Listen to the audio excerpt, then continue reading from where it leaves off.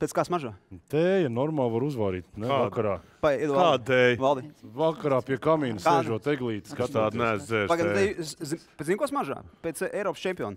Eiropas jā. čempions! Eiropas čempions! Jā, jā. Mārtiņš Sasks, 19-gadīgais talants latviešu, un tagad var vēl teikt, jo pasaules. Jo vecim ir iekšā. Atvainojiet, ka es tam nosaucu pa veici, bet nu, uz to pusi vēl. čau, čau, čau. Jā. Tā, Eiropas čempions. Ja tu būtu viņu nosaucis par meiteni, tad tu varētu Te, atvainoties. te ir tas kauss, jā. Te Tas ir īstais, jā. Te ir tas kauss. Klausies, ā, tā, it kā, zin kā, juniori. Jā, juniori ieskaita, bet juniori šajā stāstā, ko pārstāv nākošie. Rallija, tas ir līdz 27 gadiem, jā? Jā, jo es skaitos tāds ļoti, ļoti jauns juniors. Ļoti, ļoti jauns juniors, jauns. 19 gadu vecumā. Nu, labi, uh, dinastija, Sēsku dinastija. Labi, mēs zinām, Ulas Sēskus. Nu, zin kā ik pa laikam saka, nu, ko viņš tur tam puikam tur to nav tērē. Bet tev tā kā vectēvs ir braucis arī. Nu, ir tas stāsts tāds, ka, jā, ka vectēvs sāk braukt. Uh, vectēvs arī uztaisīja Latvijā senāko rallija, rallija Kurzem, Šeit tev? kuram pirms trīs gadiem bija 50 gadu jubileja. Un, uh, starp citu, nu arī viena no māsām brauc rallijā kādreiz. Tā kā mēs esam tāda paliela ģimenīte, kas nodarbojas. Jā. Bet kurš Jā. tur visstrakākais no jūsu bariem? Kā tev liekas? Fāters. Man jau liekas, ka vistrakākie ir tie, kas brauc senāk pagātnē, kā Ops kādreiz brauc Jā. ir ar, ar gāzes mašīnām, ar, ar volgām, ar visu, ko, kas kustējās. Tāpēc man liekas, ka tas, ar ko mēs šodien nodarbojamies, tas ir tāds salīdzinoši Lops ar ļoti, vienu pirkstu braukt droši vien. Bez mazvai, jā. Nu, skaidrs. Labi, uh, populārā veidā, cik sarežģīti uh, vai prestiži ir uh, šo balvu sakārtot. Uh, nu, pirms sezonas jau tu tā ne- nebija sadomājies, ka tā no LMT akadēmijas uzreiz hops un Eiropas čempions. Tas bija tā, ka viss notika ļoti ātri, jo es pat īsti vēl kaut kādā februārī nezināju, braukšu Eiropas čempionātā, braukšu Latvijā. Nebija tā īsti skaidrs. Mēs uz kaut kam gatavojāmies, bet eh, tā simtprocentīgi nebija skaidrs, kam. Jā. Un tad, jā, tad bija viens brīdis, bija iespēja, kļuvām par uh, Opel motorsporta rūpnīcas braucējiem. Mm -hmm. Un, jā, un es parakstīju līgumu ar viņiem divas nedēļas pirms pirmā posma, kas bija Portugālē. Ko mēs te redzam? Te mēs redzam Romu, Itāliju. Tu brauc pa priekšu, protams, Opels pa priekšu vīlē. Ja? Uh, tā ir tāda parāda. Viņiem katru gadu ļoti interesanti, ka viņiem ir centrā atklāšana. Jā. Un tad uh, ir tāda parāda policijas eskortā, kur vi eskortē visus cauri vecpilsētai, lai var uztaisīt uh, šādas tādas bildes. Mm -hmm. nu, kā tu ā, 19 gadu vecumā tur ir starp tiem onkuļiem? Jo tie veči, kas ir juniori, viņiem tad līdz 27 jau skaita to junioru vecumu. Kā ir kā jaunajiem? Uh, bija tā, ka varbūt pašā sākumā es jutos tāds nedaudz maziņš salīdzinot ar visiem, tāpēc ka daži, kas brauc tajā manā junioru klasē, ir ar, jau ar tādām normālām bārdiņām. Jā. Dažiem ir jau puncīši tādi un tur uh, Bērni precējušies jau. Un piedāvā aliņu tev?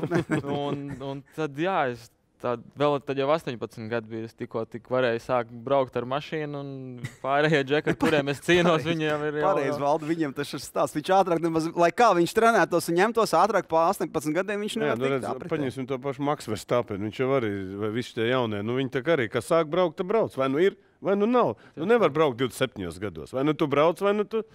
Tā ir. viņš Nu, brauc ir, līdz nu, 27. Un, uh, un vēl jau tā īpatnība ir tāda, ka mēs varam Latvijā ar federācijas atļauju un visu kaut ko No braukt 16, no, no 14. Ah, no gadiem. 14, ja. Es, uh, Kalrovam Pēra, kas tagad arī brauc pasaules, Olivers Solbergs, pasaules mm čempionu dēls. Mēs visi braucam no 15, 16 gadiem jau tā, ka Jā. pilnu sezonu Latvijā.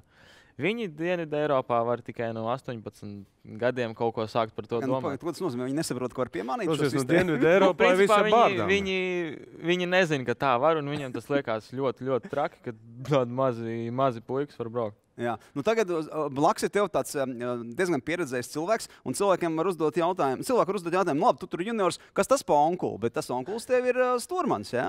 Viņš ir, viņš ir stūrmans, un Sauc vārdu, uzvārdu, lai cilvēki saprotu varoņus. šis stūrmans ā, Renārs Francis. Jā. Nobraucām šo sezonu, esam abi divi Eiropas čempioni. Cik jums tur gada starpība? Viņam, ir, viņam šogad bija 40. 40 jā. Jā, un tad, tad viņš ar savu pieredzi. vēl, vēl- vēl teikt, vecāks. Labi, nu, saka, jaunāks. Zini, kā te jau viņam nav vainosies. Bet viņš ar savu pieredzi, ko viņš tev tādam jaunam puikam, kā tev liekas, ir iedevis? Tas pats svarīgākais, kā var redzēt, arī manam komandas biedram, uh, nedaudz gados vecāks stūrmens. Ir, Jā, tur arī. Pagaid, nu, komandas biedrs, tad, tad tas nav Latvijas, tas ir Tas ir Zviedrs. Zviedrs. Ja? Toms Zviedru puika. Kristensons, jā. Jā. Un, Ceļš vaistiem, vai tu, tu neredzi, ka tas nav Latvijas? Es redzu, ka tas ir Karlsons. Es, es, es vienkārši domāju, nu, no kura gala, no, no Svensona gala, bet nu, skaidrs, Zviedrs. Labi, un abiem diviem pieredzējuši stūrmaņi. Tā, kas tas tāds ir? Kas tas ir? pas Tas stāsts? iedod vairāk, manuprāt, mums tādiem jauniem, jauniem, ambicioziem braucējiem. Mēs abi, divus, starp citu, pirmo gadu braucām Eiropas Jā. čempionātā. Un tas noteikti tie pieredzējušie cilvēki blakus iedod tādu, tādu mieru, Mhm. pārliecību un to, ka viņiem ir tā dzīves bagāža lielāka un kaut kādos brīžos viņi vai nu var mūs apstādināt, Jā. vai pateikt kaut ko, kaut ko stiprāku mums, tā lai mēs bišķiņi savācamies. Un, un tas noteikti ir tas, ka viņi palīdz mums pieturēties pie zemes. Jā. Nu, jā, bet tu jau galīgi traks neskaties tāds, ka būtu jāvalda. Tu ģimene audzinājusi tevi. ir. Jā, Nav jau tā bēdīgi. Vecāki centušies pagaidām izstāstīt, ka viņiem viss izdevies. Nu, to ā, kā nākošais sezona. bet To redzēsim. Tagad uh, pie tā sākam strādāt. Uh, cerams, jau ka apstāties, neapstāsimies. Jā. Jo- Ir kāds iestrādes? Ir iestrādes, ir, ir dažādi. Gribu arī atklāt kaut ko? To es vēlāk varētu atklāt. pēc reklāmas. Pēc reklāmas. Sarunājam. Tagad parādām reklāmu, un pēc tam paskatīsimies, kas tad ir tas lielais noslēpums. Mārtiņš Šesks, Eiropas čempions rallijā, pastāstīs kaut ko interesantu. Ko? Skatīsim.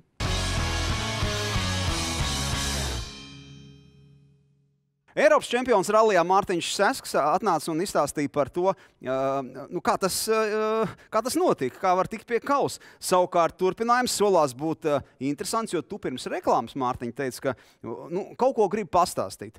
Vai mēs varam tā kā jau sākt atrādīt to, ko tu gribi pastāstīt? Nu, mēs varam to Ziemassvētku laikā to dāvanu. Me, visi kopā mēs saucam Tā Krišānu. ja? dzirdēji, tā ir dāvana. Tā ir dāvana. dāvana. Krišāns Calne nāc šurp. Tā ir tā lielā dāvana. Tas ir tas stāsts, ko neviens vēl nezina. Es saprotu, ja? vai liela daļa nezina. Vakar. Nu, jau Vakar, tagad vakar, vakar. Krišāns Labvakar. Toni. labvakar, labvakar. labvakar. Prieks bija jums Paņēmis būt līdzi ciemoties. gurnīcas. Un es esmu ar viņu tēvu braucu mašīnā, bet ar viņu vēl Divas, ne, nu, divas dinastijas saplūst. Ja.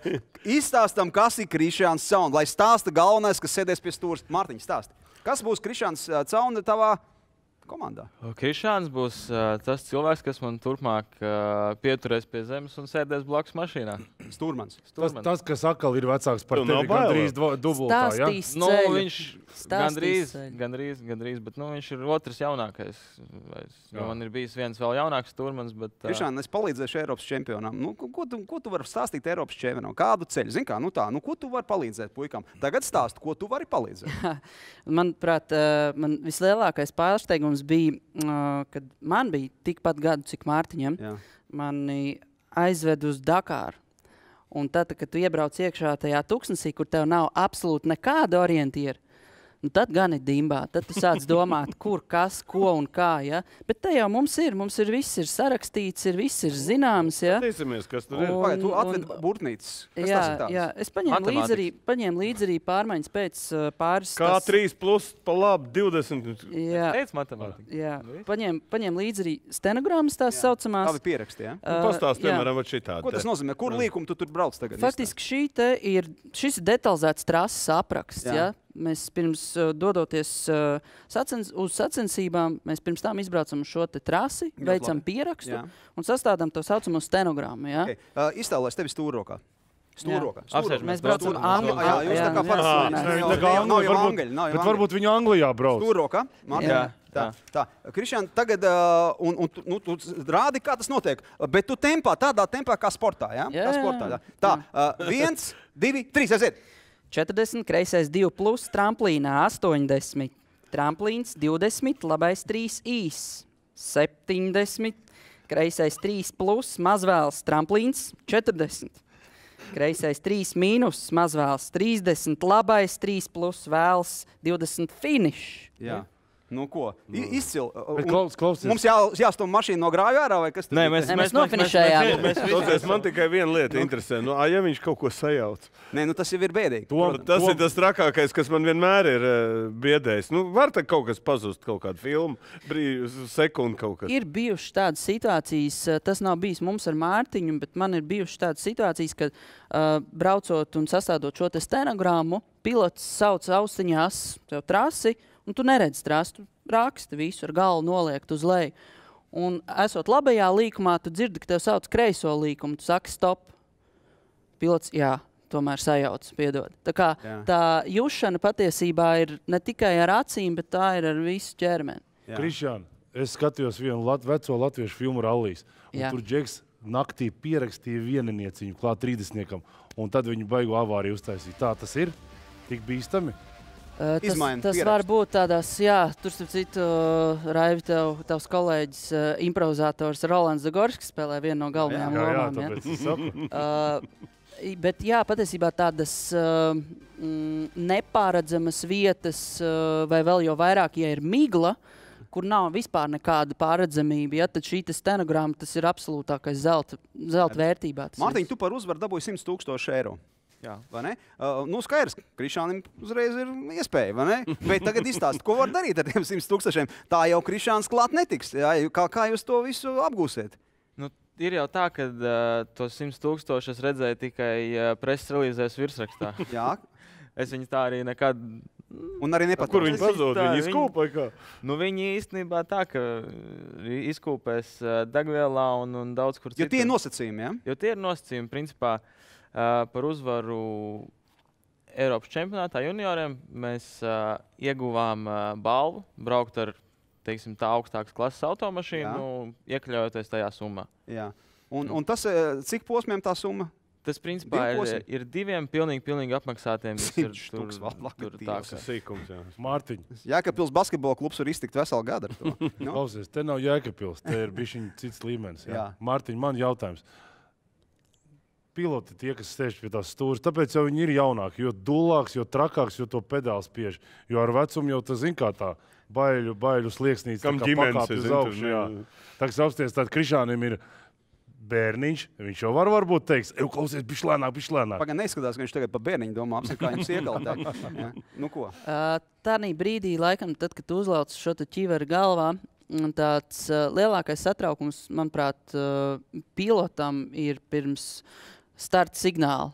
Aiziet 5, 4, 3, 2, 1, bet pēc tam būtībā tu esi tik ļoti sakoncentrējies, ka tu dari savu darbu. Mm -hmm. Un domāt par kaut ko, kas ir ārpus mašīnas, tas, uh, tas ir bīstami. Tāpēc mm. -hmm. tas netiek darīts. Krišāna, tev uzvārds ir cauna. Tu taču arī nāc no dinastijas. hm? Protams, protams. Vecie seski taisīja ralliju Liepājā, un vecie caunis eh, domāja, nu, kā tās trases izbraukt. Tā, apmēram, vai ne? ko? Jā, Nu, ko tev tā Fāters iemācīja? Viņš apdzert.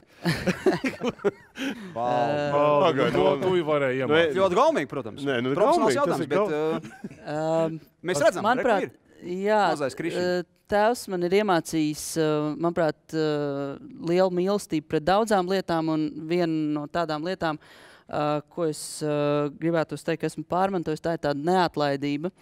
Un tā mums ir ģimenē bijusi, un man gribētos to arī turpināt, lai arī mans dēls būtu Jā. neatlaidīgs. Jo, godīgi sakot, sportistiem visiem pienāk viens brīdis, kad ir baigi grūti, ir baigi sarežģīti, un tev nolaižās rokas. Ja? Mēs brīdī šī neatlaidība palīdz.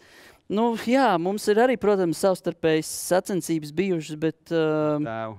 ar tēvu. un Tas ir, tas ir bijis arī tāds liels izaicinājums, jo daudz man, protams, ir uzskatījuši kā nevis kā Krišāna Cauna, bet kā Ivar Caunas dēlu. Ja? Jā. Uh, līdz ar to es esmu faktiski, man tādi spilgti panākumi bijuši tajās disciplīnās, kurās viņš nekad nav Bet jūs startējis. jau esat uh, pamēģinājuši kopā. Jā, protams. Nu, tagad uh, nu, tēvs brauc, tu lasīji, uh, viņš brauc. Nu, kāda ir maniera? Ko tu vari teikt, Kriš?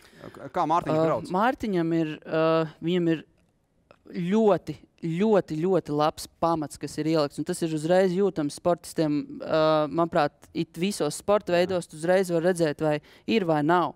Uh, tas, ko jūs iepriekš arī runājāt, ja Džeks, viņš, viņam 27 gadi, viņš grib sākt nodarboties profesionālu sporta veidu.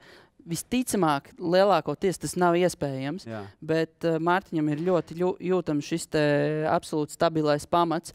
Un uh, gribētos, uh, ka kopīgiem spēkiem mēs arī varam piestrādāt uh, pie tām absolūtajām niansēm, kas ir vajadzīgas un principā, kas izšķir arī rez, to savstarpēju rezultātu. Mārtiņ, kas mainās mašīnās nākamā gada, nākamā sezonā? Kas, pie kādas rūpnīcas tu esi ticis un uh, ko tu dabūsi? Un vai uh, Krišam jāpiemaksā par to, ka viņš pie tevis tur sēž blakus? Šobrīd ir tā, ka vēl simtprocentīgi es ne pie kā ticis. Es esmu kaut ko apskatījies, kaut kādas idejas ir Jā. bijušas. Bet nu, ir tā, ka Eiropas čempionātā mēs brauksim ar Skodu Fabiju. Jā, Uh, kas ir principā tāda jau pilnpiedziņas, jau ātra mašīna, tāds mazais mērķītis, Labi, uz ko jau jā. es jau gaidīju jau kādu ilgāku brīdi. Jā, ka jā, varētu Tas jā, ir jā. saucamais tas VRC2 klases Jā. uh, aparāts, kas ir principā piecām viens minūtēm no- jau Jā, lielais. jā, Jā. principā jā. jā. Un? Un šobrīd uh, tas viens plāns ir, uh, lai mēs vēl joprojām justos kā juniori. Tad uh, mēs domājam, ka mēs varētu mēģināt uh, braukt pasaules junioros. Tas tā kā pārējie tā kā nepieciešams. Kur viņi pārējie. notiks? Ir tā, ka tas kalendārs šobrīd ir saplānots tā, ka visi pasaules posmi notiek Eiropā, Jā. ieskaitot Zviedriju, Somiju, Franciju. Un tas šobrīd ir tas, pie, pie kā, par ko mēs domājam. Bet uh, Pagaid, nu, nav jau arī vairs daudz laika domāt, jo pirmais posms Zviedrijā ir. Vai tev bija jāpērk vieta? Nē, Nē, labi. Eh, Vai jūs esat vienojušies, kā dalīsiet eh, Lauras kausu? Nu, nevajag Nu, dalīt, kamēr jau vēl katram nav. dod Vēl- savu. Kausu katram sāksim savu. ar to, ka vēl nekas nav ko dalīt. Mums ir vēl jāpacīnās. Un, Bet- Bet, bet, bet cik lielā mērā jūs ap divas uh, esat iekšā arī motorā ar, ar abām rokām? Jā, teiksim tā, nu, ka Kā jūs- tehniķi, nu. Nu, tehniski, jā, jo ir mehāniķi un ir uh, sakam, rūpnīca, un tad tur ir palīgi. Jā, bet jūs paši tur lienat klāt, uh, pārbaudat, vai nē, nē, tur profiņi, lai viņi tur tiek galā. Šogad bija tā, ka braucot Opelī, neviens neļāva uh, ne Ķerties pat- klāt. ne pat skatīties. Protams, ir cits stāsts, kad mašīna ir ārpus servisa parka ātruma posmā, kaut kas notiek.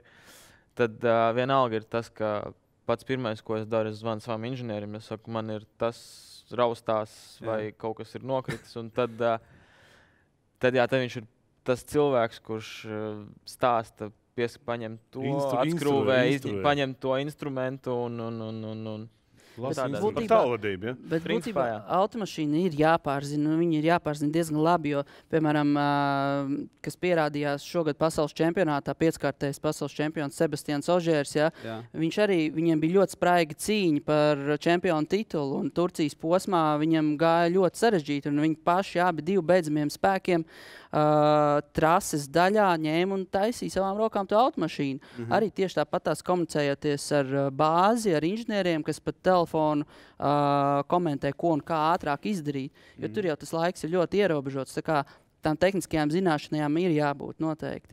Mūsdienās uh, ļoti liels atvieglojums ir šī komunikācija, ka tu vari ļoti ātri sazināties un tev ātri var izstāstīt tās lietas, kas ir uzreiz uh, jānomaina. Un tās mm -hmm. komponentes nomainīt Padomu arī laiku. ļoti ātri. Nu, jā, nu, te nu, laikmets. cits, laikmets. Nu, ko, uh, pirms sakām, tā, Mārtiņ, uh, vari nopelnīt nākamajai sezonai jau nu, mazo Pusdienās. lietu. Mazo lietu, tad budžetā uzreiz mēs ieskaitām uh, no Hatrika, ieskaitīsim tev ravioli kasti. Uh, jā, Vari- izstāsti, vari- Un, izstāsti. un vēl kārt? Jā, un vēl kārti. vēl piķi, piķi. Aizved, aizved Krišānu pusdienās. Jā, jāreiz abi ap, ap pasēdēt un parunāties par dzīvi.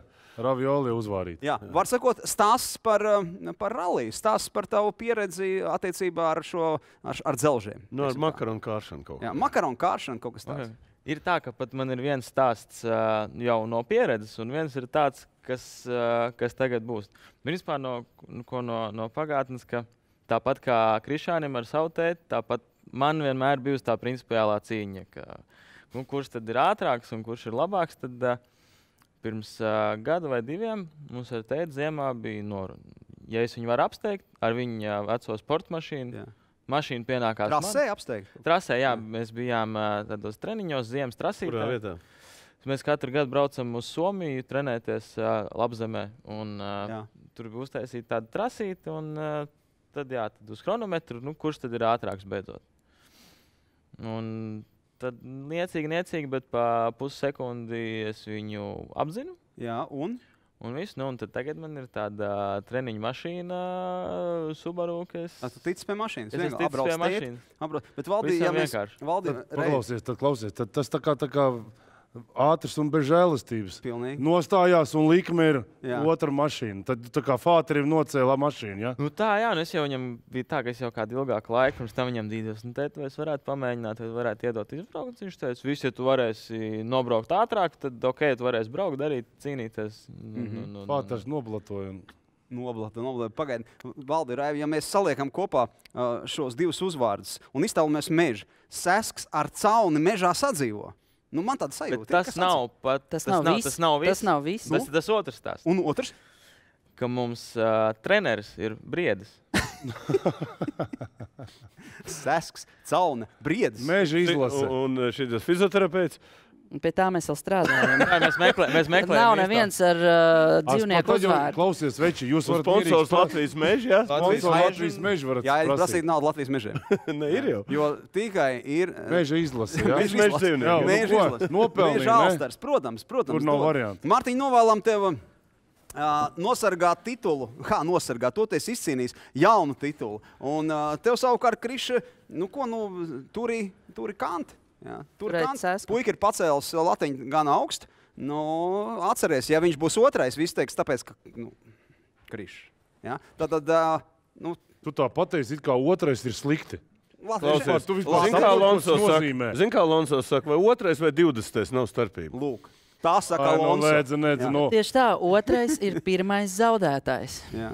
Un To vēl jau arī stāsts par to bēdīgo ceturto vietu arī kā vienmēr. Pierod, pierod uh, Mārtiņ, pie uzvarām. Mēs gribam, lai tu pierodi. Ja tu esi sācis, tad pierod. Pierod un dari to, lai pasaules uh, rallies beidzot piedzīvo tādu kārtīgu latviešu uznācienu. Vai ne? Latviešu mākslinieks. Latviešu māksla, protams, jā. lai tev veicas. Lai jums veicas.